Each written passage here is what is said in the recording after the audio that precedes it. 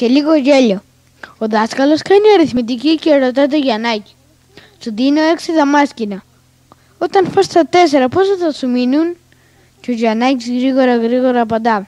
Κύριε, δεν τα τρώω τα δαμάσκηνα, δώσ μου, δώσ, δώστε μου τίποτα άλλο.